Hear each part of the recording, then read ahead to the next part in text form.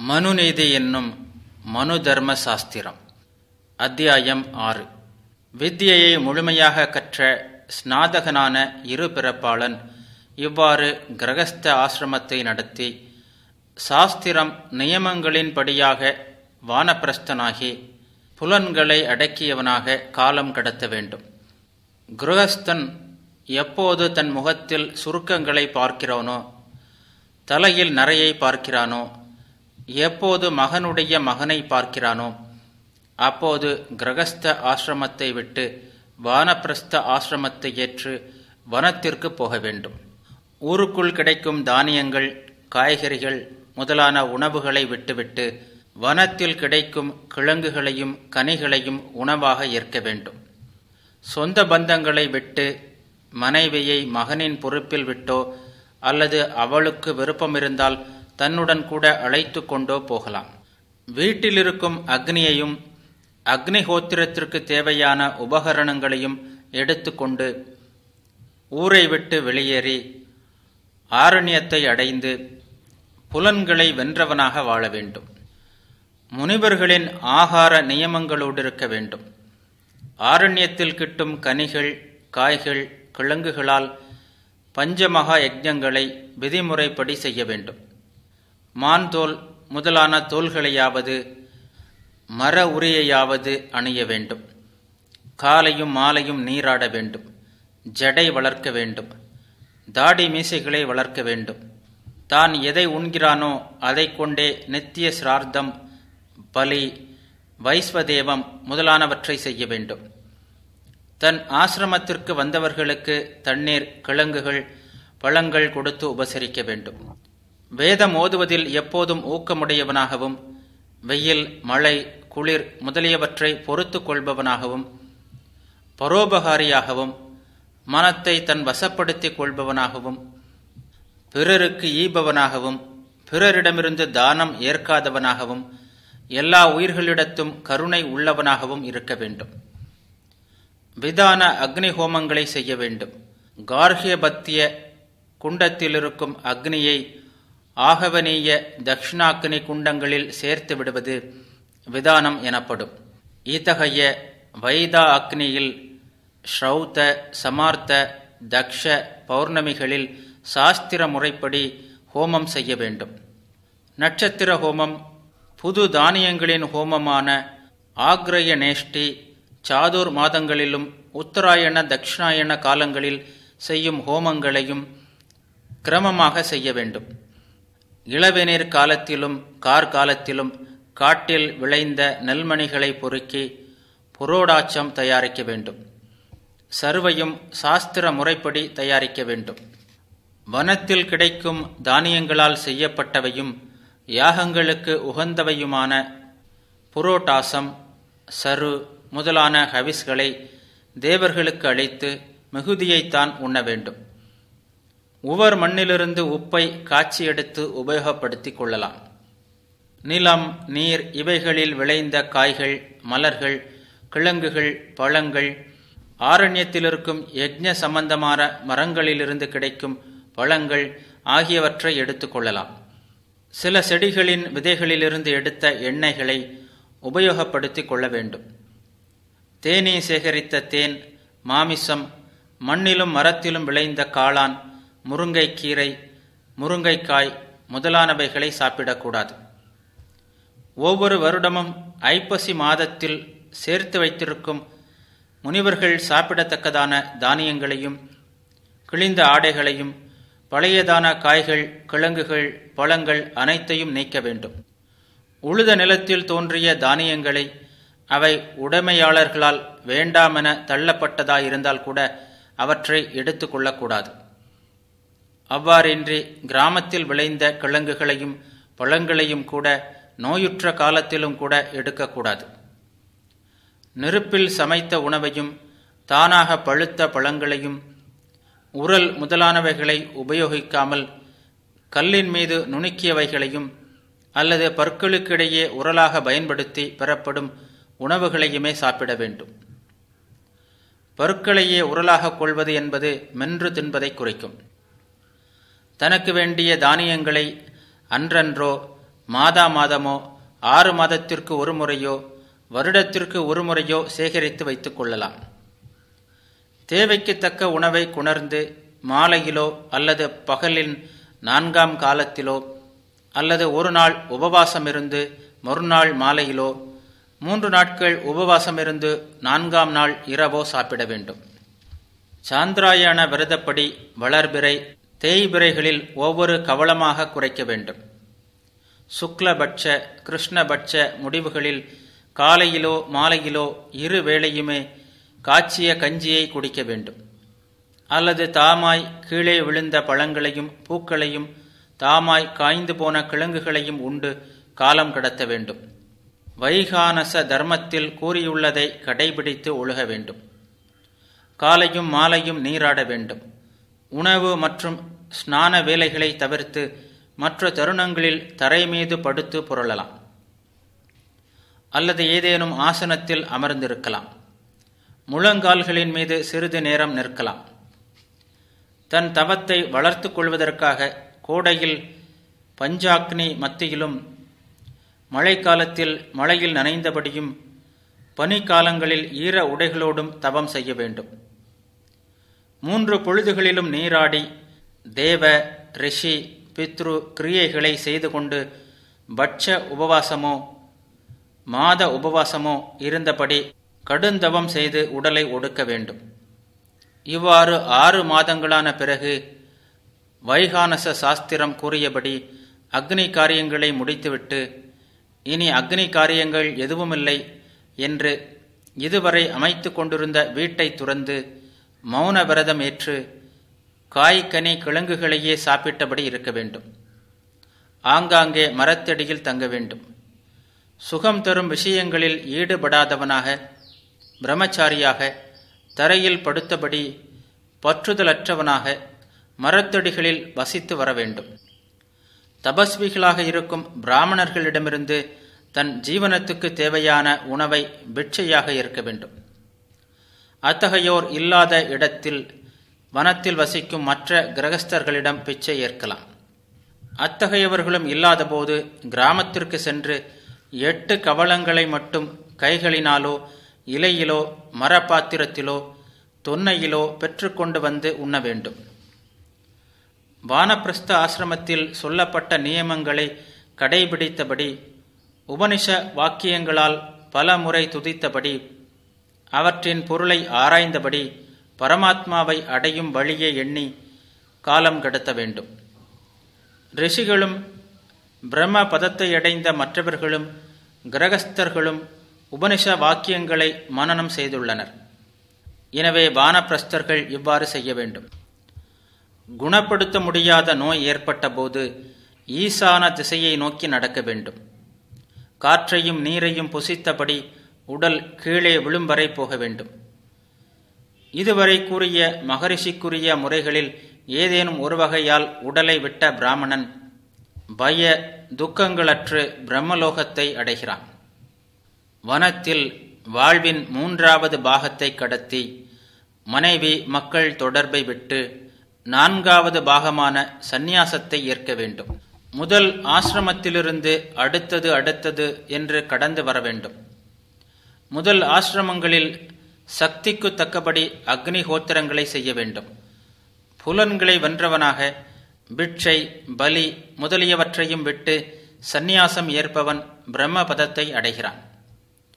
ரிஷி கடன் தேவகடன் பித்ரு கடன் என்னும் மூன்று கடன்களையும் தீர்க்காமல் மோட்சத்தை அடைய முயல்பவன் நரகத்தில் வீழ்வான். சாஸ்திரம் கூறியபடி வேத அத்தியனம் செய்து புத்திரர்களை பெற்று யாக யஜ்ஞங்களை செய்த பிறகு சந்நியாசத்தில் மனத்தை செலுத்த வேண்டும். வேதங்களை ஓதாமல் தன் மனைவியிடம் புத்திரனை பெறாமல் யாகங்கள் செய்யாமல் மோட்சத்தை அடைய எண்ணும் இரு பிறப்பாளன் நரகத்தில் வீழ்வான் பிரஜாபத்திய வேள்வியை முடித்து சகலத்தையும் தட்சிணையாக வழங்கி முன்னர் கூறியபடி மூன்று அக்னிகளையும் உணர்வால் தன்னுள் ஏற்று பிறகு பிராமணன் சந்நியாசம் ஏற்க வேண்டும். எல்லா உயிர்களுக்கும் அபயமளித்து எவ்வுயிருக்கும் தீங்கிழைக்காதவனாக வாழ்ந்து கிரகஸ்த ஆசிரமத்தை விட்டு உபனிஷத் வாக்கியங்களில் சிரத்தையோடு இருந்து சந்நியாசம் ஏற்றவனுக்கு இறந்த பிறகு ஒளி பொருந்திய உலகங்கள் கிடைக்கும். எந்த இரு பிறப்பாளர்களால் சகல உயிர்களுக்கும் சிறிதளவும் பயம் ஏற்படாதோ அத்தகையவன் இறந்த பிறகு அவனுக்கு எதனாலும் பயம் ஏற்படாது. வீட்டை துறந்து வந்தவன் தண்டம் கமண்டலம் முதலான பரிசுத்த பொருட்களோடு இருக்க வேண்டும். மற்றவர்கள் சுகமளிக்கும் பொருட்களை குணர்ந்து கொடுத்தாலும் அவற்றின் மீது நினைவை செலுத்தாமல் சந்நியாச ஆசிரமத்தை நடத்த வேண்டும். துணையின்றி தனித்து சஞ்சரிக்க வேண்டும். தனித்திருப்பவனுக்கே மோட்சம் கிட்டும் என்பதை அறிந்து அனைத்தையும் விட்டு துக்கங்களை அறுத்து நிற்பவன் இறுதியில் மோட்சத்தை அடைவான். தனக்கென்று சமைக்காமல் தனக்கென்று வீடு இல்லாமல் உடலை நோய்கள் தாக்கிய போதும் அதை பற்றி கவலைப்படாமல் உறுதியான மனதோடு பரமாத்மாவை தியானித்தபடி இரவும் பகலும் வனத்திலேயே இருக்க வேண்டும். உணவுக்காக மட்டும் கிராமத்திற்கு செல்லலாம். பிட்சை எடுப்பதற்காக மண்பாண்டம் தங்குவதற்கு மரத்தடி உடுத்த கந்தை துணி அனைத்திலும் பிரம்ம பாவத்தோடு இருக்கும் சமபுத்தி என்னும் இவை சந்நியாசிக்கு இருக்க வேண்டிய லட்சணங்கள்.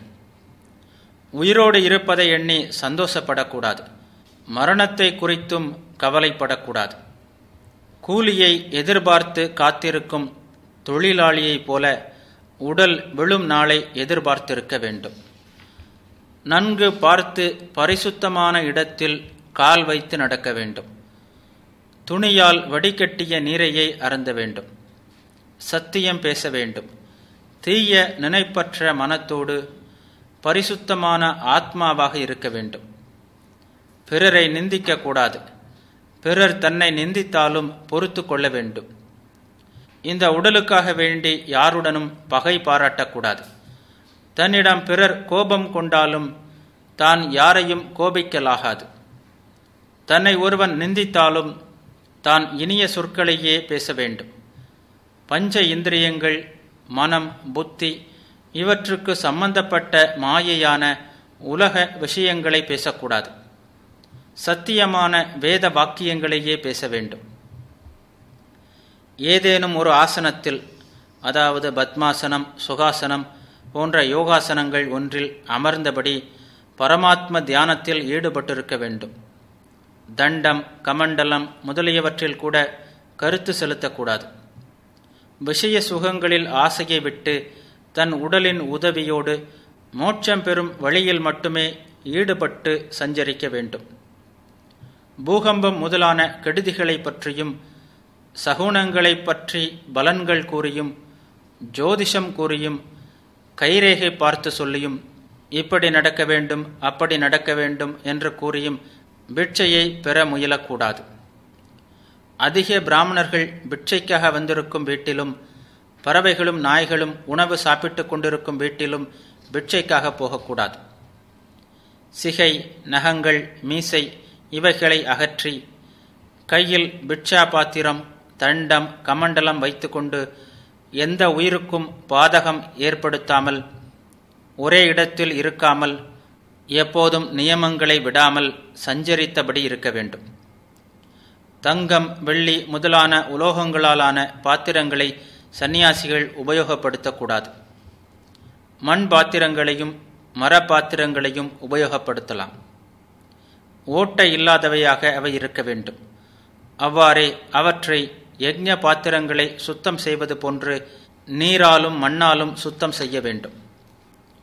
சுரை குடுக்கை மண்பாண்டம் மரத்தாலான பாண்டம் மூங்கில் படி இவை சந்நியாசிக்குரிய பாத்திரங்கள் என்று மனு கூறியுள்ளார். சந்நியாசி தினமும் ஒருவேளை மட்டுமே பிட்சைக்கு செல்ல வேண்டும். அதுவும் விஸ்தாரமாக சஞ்சாரம் செய்து கொண்டிருக்கக்கூடாது மிகுந்தபடி பிட்சை ஏற்பதில் நாட்டமுள்ளவனுக்கு புலன் விஷயங்களில் மனம் ஈடுபட்டுவிடும். சந்நியாசி பிட்சை ஏற்க செல்லும் வீடு எப்படி இருக்க வேண்டுமெனில் சமையல் முடிந்ததற்கு அடையாளமாக மேலே புகை வருவது நின்று போயிருக்க வேண்டும். உலக்கை சப்தம் கேட்கக்கூடாது. அடுப்பு நெருப்பை அணைத்திருக்க வேண்டும். அனைவரும் சாப்பிட்டு முடித்த பிறகு சந்நியாசி அந்த வீட்டுக்கு பிட்சைக்கு செல்ல வேண்டும். பிட்சை கிடைக்காத போது வருத்தப்படக்கூடாது. கிடைத்தபோது சந்தோஷப்படக்கூடாது. உயிரை காத்து கொள்ள தேவையான அளவுக்கு மட்டுமே பிட்சை ஏற்க வேண்டும். எந்த பொருளின் மீதும் சிறிதளவும் பற்று வைக்கக்கூடாது. தன்னை போற்றி ஒருவன் பிட்சை அளித்தால் ஏற்கக்கூடாது. அதை ஏற்றால் தனக்கு பிட்சை இழைத்தவன் மீது பாசம் ஏற்படும். முக்தியின் வாசல் வரை சென்றவன் கூட ஜென்ம பந்தத்தில் சிக்கிவிடுவான். சிறிதளவே உண்ண வேண்டும். ஏகாந்தத்தில் இருக்க வேண்டும். விஷயங்களில் ஈடுபடாமல் இந்திரியங்களை கண்காணிக்க வேண்டும். இந்திரியங்களை அடக்கி எவரிடமும் பாசமோ பகையோ இல்லாமல் எந்த உயிரையும் ஹிம்சிக்காமல் இருக்கும் சந்நியாசி மோட்சத்தை அடைவான். தகாததை செய்வதாலும் தக்கதை செய்யாமல் விடுவதாலும் மனிதர்களுக்கு கிடைக்கும் நீச்ச ஜென்மங்களை பற்றியும் நரகங்களை அடைவது பற்றியும் நரகத்தில் அனுபவிக்கும் வேதனையை பற்றியும் சிந்திக்க வேண்டும். விருப்பமானவர்களுடன் ஏற்படும் பிரிவு விருப்பமற்றவர்களுடன் ஏற்படும் உறவு முதுமையால் வரும் துன்பம் வியாதியால் பீடிக்கப்படுதல் முதலானவற்றை பற்றி சிந்திக்க வேண்டும். இந்த தேகத்தை விட்டு நீங்குதல் மீண்டும் கர்ப்பவாசம் செய்தல் எண்ணற்ற பற்பல பிறவிகளை எடுத்தல் முதலான துன்பங்களை பற்றி சிந்திக்க வேண்டும். சரீரம் பெற்ற ஜீவாத்மாக்களுக்கு அதர்மத்தால் கிட்டும் துக்கங்களையும் சுகத்தை அள்ளி வழங்கும் தர்மத்தின் பிரபாவத்தை பற்றி சிந்திக்க வேண்டும். அந்தரியாமியாக இருக்கும் பரமாத்மாவின் சூட்சிமமான ரூபத்தையும் அதை அறிய முடியாமல் போய் பாபத்தால் நரகத்தையும் ஈன பிறவிகளையும் எடுப்பதை குறித்து சிந்திக்க வேண்டும். எந்த ஆசிரமத்தில் இருக்கிறானோ அதற்குரிய ஆடை அடையாளங்களோடு இருப்பது மட்டும் போதாது. இந்த வேடங்கள் தர்மத்திற்கு காரணங்கள் அல்ல. தேத்தாங்கொட்டை தண்ணீரை தெளிவிக்கும். தேத்தாங்கொட்டை என்று அதன் பெயரை சொன்ன மாத்திரத்தில் தண்ணீர் தெளிந்து விடுமா? அதை நீரில் போட்டால்தான் அழுக்கு நீங்கி தெளியும். அவ்வாறே அந்தந்த ஆசிரமத்திற்குரிய அடையாளங்களை தரிப்பது மட்டும் போதாது. எல்லா பிராணிகளின் உயிரையும் காப்பதற்காக இரவிலும் பகலிலும் தனது உடலுக்கு கஷ்டமாக இருந்தாலும் பூமியை பார்த்தபடியே நடக்க வேண்டும். இரவிலோ பகலிலோ சந்நியாசி அறியாமல் பிராணிகளுக்கு தீங்கு செய்துவிட்டால் அதற்கு பரிகாரமாக ஆறு பிராணாயாமங்களை செய்ய வேண்டும். வியாகுருதி பிரணவங்களோடு விதிமுறைப்படி மூன்று பிராணாயாமங்களாவது பிராமணன் செய்ய வேண்டும். அதுவே மேலான தவம் என்பதை அறிய வேண்டும்.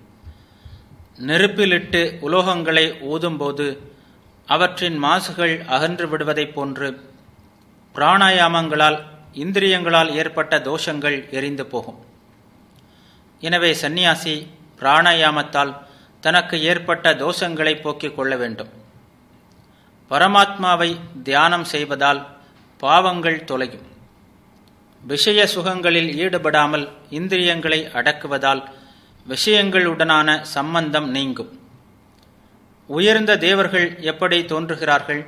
தாழ்ந்த மிருகப் பிறவிகள் எதனால் ஏற்படுகின்றன என்பதையெல்லாம் அஜ்ஞானிகளால் அறிய முடியாது. தியானத்தால் சந்நியாசி இவற்றை பற்றி அறிய வேண்டும். ஞானி புண்ணிய பாவங்களுக்கு ஆட்பட மாட்டான். அஜ்ஞானி புண்ணிய பாவங்களுக்கு ஆட்பட்டு சம்சாரத்தில் வீழ்கிறான். அஹிம்சையோடு இருப்பதாலும் இந்திரியங்களை விஷய சுகங்களில் ஈடுபடாமல் காப்பதாலும் வேதம் கூறிய நித்திய கர்மாக்களை கடைபிடிப்பதாலும் உக்ரமான தவம் புரிவதாலும் இவ்வுலகத்தார் மோட்சத்தை அடைவர். எலும்புகளை தூண்களாக கொண்டதும் நரம்புகளால் இணைக்கப்பட்டதும் மாமிச இரத்தங்களால் பூசப்பட்டதும் தோலால் கட்டப்பட்டதும் மல ஜலங்களால் துர்க்கந்தம் கொண்டதும் கிழட்டுத்தனம் துக்கம் இவைகளால் சூழ்ந்ததும் நோய்களால் பீடிக்கப்பட்டதும் பசி தாகங்களாலும் வெயில் மழை பனி முதலான சீதோஷ்ணங்களால் பீடிக்கப்பட்டதும் அழுக்கால் நிறைந்ததும் அழியும் தன்மையுடையதும் பஞ்சபூதங்களின் இருப்பிடமாகவும் உள்ள உடலை விட்டுவிட வேண்டும். ஆற்றங்கரையில் உள்ள மரம் எவ்வாறு விழுகிறதோ அவ்வாறே கர்மவசப்பட்ட மனிதன் மரணமடைகிறான். மரத்திலிருக்கும் பறவை சுதந்திரமாக எவ்வாறு நினைத்தபோது மரத்தை விட்டு பறந்து போகிறதோ அவ்வாறே ஞானி தன் இச்சைப்படி தேகத்தையும் சம்சார பந்தத்தையும் விடுகிறான். பிரம்மஞானியிடம் பிரியமாக இருப்பவர்கள் அவன் செய்த புண்ணியத்தை அடைகிறார்கள். வெறுப்போடு இருப்பவர்கள் அவனது பாவத்தை அடைகிறார்கள். இவ்வாறு புண்ணிய பாவங்களற்று தியானத்திலிருந்து பிரம்மலோகத்தை ஞானி அடைகிறான். சகல வஸ்துக்களின் மீதும் சிறிதும் பற்றற்றவனாக ஒருவன் எப்போது ஆகிறானோ அப்போது இவ்வுலகில் சுகமாக வாழ்ந்து இறந்த பிறகு மோட்சத்தை அடைகிறான். அனைத்து பந்துக்களையும் விட்டு மானத்தையும் அவமானத்தையும் விட்டு ஞான மார்க்கத்தாலும் கர்ம மார்க்கத்தாலும் பிரம்மலோகத்தை அடைகிறான். பரமாத்ம தியானத்தில் ஈடுபடுபவனுக்கே இந்த நிலை கிட்டும். அனைத்து பந்தங்களையும் விட்டவனாக இருந்தாலும் மான அவமானங்களை விட்டவனாக இருந்தாலும் பரமாத்ம தியானத்தில் ஈடுபடவில்லை என்றால் மோட்சத்தை அடைய முடியாது.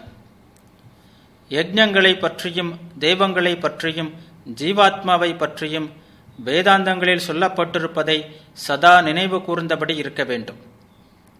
வேதாந்தங்களில் சொல்லப்பட்டிருப்பவையே அறியாதவனுக்கு இரட்சகமாகும். அறிந்தவனுக்கும் இதுவே இரட்சகமாகும்.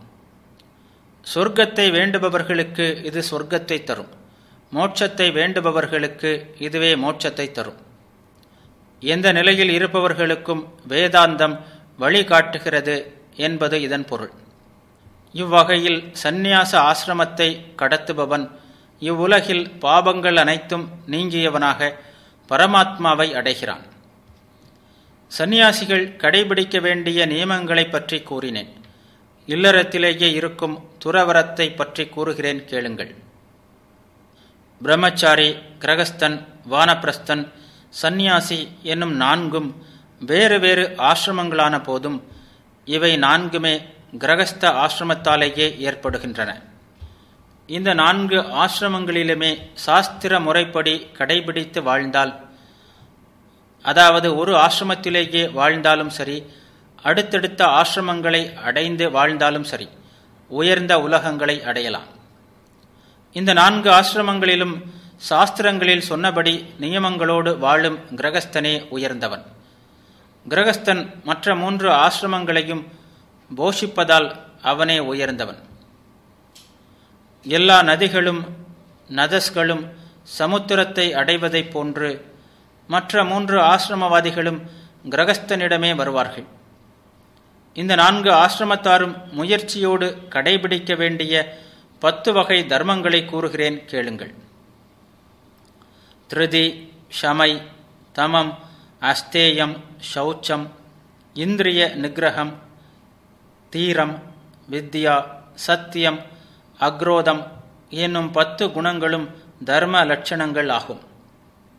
இந்த பத்து குணங்களும் நிறைந்தவன் தர்மாத்மா. முதலில் வருவது திருதி என்ற குணம். அதாவது தைரியம். உறுதி ஊக்கம் தன்னடக்கம் பிறருக்கு உதவும் தன்மை இவை அனைத்தும் திருதி. இரண்டாவது ஷமை அதாவது பொறுமை. மூன்றாவது வருவது தமம் அமைதியாக இருத்தல் அடக்கமாக இருத்தல் போன்றவை தமம். நான்காவது அஸ்தேயம் அதாவது திருடாமை. ஐந்தாவது வருவது ஷௌச்சம். உடல் தூய்மை மற்றும் அகத் தூய்மை இரண்டும் சேர்த்து ஷௌச்சம். ஆறாவது வருவது இந்திரிய நிகிரகம் அதாவது ஐம்புலன்களையும் அடக்கி வாழ்தல். ஏழாவது தீரம் தைரியத்தோடும் எச்சரிக்கையோடும் சஞ்சலமடையாத திடமான மனத்தோடும் நல்வழியில் அறிவை செலுத்தி வெளியிலிருந்து வரும் எதிர்ப்புகளை அடக்குதல். எட்டாவது வருவது வித்யா. கல்வி அறிவையும் உலகியல் அறிவையும் ஆத்ம ஞானத்தையும் அடைதல். ஒன்பதாவது வருவது சத்தியம். பிறருக்கு இன்னல் ஏற்படாத வகையில் உண்மை பேசுதல் அந்த உண்மையில் உறுதியோடு இருத்தல் போன்றவை சத்தியம். பத்தாவது வருவது அக்ரோதம். குரோதமற்ற தன்மை கோபமின்மை. எவர் இந்த பத்துவித தர்மங்களையும் அறிந்தவர்களோ எவர் இந்த பத்துவித தர்மங்களையும் கடைபிடிக்கிறார்களோ அவர்கள் உயர்ந்த கதியை அடைகிறார்கள். இருபிறப்பாளன் இந்த பத்து தர்ம லட்சணங்களையும் அறிந்து சற்றும் இப்படி அப்படி விலகாமல் கடைபிடித்து வேதங்களின் உபனிஷத்துக்களின் பொருளை கிரகஸ்தனாக இருக்கும்போதே குருவிடமிருந்து நன்கு கற்றறிந்து தேவ பித்ரு ரிஷி கடன்களையெல்லாம் முடித்து பிறகு சந்நியாசம் ஏற்க வேண்டும். கிரகஸ்தன் தான் அனுபவிக்க வேண்டிய அக்னிஹோத்திரம் முதலான சகல கருமாக்களையும் விட்டு தெரியாமல் செய்த பாவங்கள் நீங்க பிராணாயாமங்களை செய்து இந்திரியங்களை வென்று வேத உபனிஷத்துக்களின் பொருளை அறிந்து மகனுடைய வீட்டிலேயே இருந்தபடி அவன் தரும் உணவையும் உடையையும் ஏற்று ஜீவனத்தை பற்றிய கவலையை விட்டு சுகமாக காலம் கடத்த வேண்டும். இப்படி இருப்பவன் இல்லற சந்நியாசி எனப்படுவான். இவ்வாறு சகல காரியங்களையும் விட்டு எதிலும் பற்றற்று சகல பாவங்களையும் போக்கடைத்து சந்நியாசமேற்று பரமாத்ம தியானத்தில் ஈடுபடுபவன் மேலான கதியை அடைவான். முனிவர்களே பிராமணர்களுக்குரிய நான்கு ஆசிரமங்களை பற்றியும் அவர்களின் தர்மங்களை பற்றியும் கூறினேன். இனி புண்ணியமான மிகுந்த பலனை தரக்கூடிய ராஜ தர்மங்களை கூறுகிறேன் கேளுங்கள். இத்துடன் ஆறாம் அத்தியாயம் முடிந்தது.